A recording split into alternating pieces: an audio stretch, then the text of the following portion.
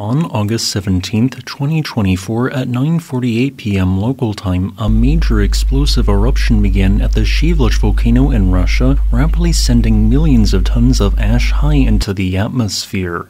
As a section of Shiveluch's Karan lava dome with two A's exploded, a sustained plume of ash rose to 6, then 8, then 9 kilometers or 29,500 feet. As this eruption column drifted towards the east, many millions of tiny particles of ash rubbed together to create static electricity, leading to a spectacular light show involving dozens of volcanic lightning strikes per second. Simultaneously, pyroclastic flows raced outwards in multiple directions, creating a phoenix cloud and incinerating several square kilometers of surrounding forest. Ashfall was so intense that it turned the sky a dark gray color which continued even once the sun rose at 6:14 a.m. Around this time, I received a report that approximately two and a half millimeters or a tenth of an inch of ash had fallen on the Ust-Kamchatsky region.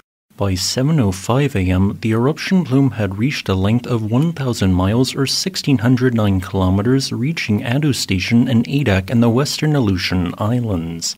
Then, five minutes later, something unexpected occurred as the ground began to rapidly shake back and forth. A major magnitude 7.0 megathrust earthquake had just struck 417 kilometers or 259 miles to the south of the volcano at the subduction zone between the Pacific and Okhotsk plates. As the ground shook for approximately 20 seconds, moving by as much as 1.7 meters or 5.6 feet, pieces fell off of some buildings, some water heaters were damaged, and portions of Kamchatka's largest city were left without clean drinking water due to damage to infrastructure. A tsunami warning was then issued with initial warnings suggesting wave heights of 30 to 100 centimeters. While a tsunami did end up striking several areas, it was far smaller, only reaching a height of 2.5 millimeters, so as a result, the tsunami warning was cancelled. And yet, absolutely no changes occurred at the still erupting Shiveluch volcano. By the time the earthquake had struck, Shiveluch had already been erupting for ten and a half hours, with the two events being completely unrelated to each other. So, no, despite what several news outlets are claiming, the earthquake did not trigger Shiveluch to erupt. Also, for a large earthquake to have a chance to trigger an eruption at a volcano that is already close to erupting, the volcano in question needs to experience minimum MMI 5 shaking or about 10% the acceleration of gravity. Instead, however, Shiveluch experienced a figure only 2% of this amount, equating to the very low end of MMI2 shaking. Across the next 12 hours, the sustained eruption column continued, but it became weaker and weaker over time, now only reaching an altitude of 4 kilometers or 13,100 feet.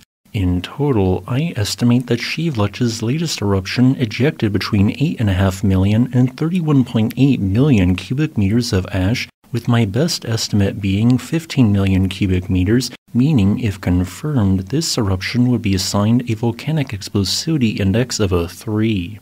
This eruption was not all that unexpected in hindsight, as not only is Shiveluch the most consistently explosive volcano on the planet during the Holocene epoch, but weird behavior had been observed 5 kilometers west southwest of its main dome since mid 2023. At this location, intense fumarolic degassing gave way to a growing andesite lava dome, which rapidly expanded in size at a notable location. The last three times a lava dome grew in this very spot, each individual dome was associated with a major VEI3 or VEI4 eruption.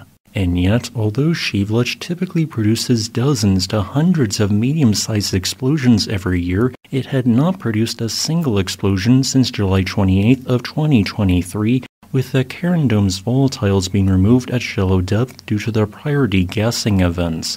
Thus, over the next 387 days, deeper volatiles migrated to the surface and built in pressure underneath the viscous Karan dome until it broke overlying rock, creating the major eruption we just observed. In other words, almost a year's worth of magma was erupted in less than 24 hours at this volcano.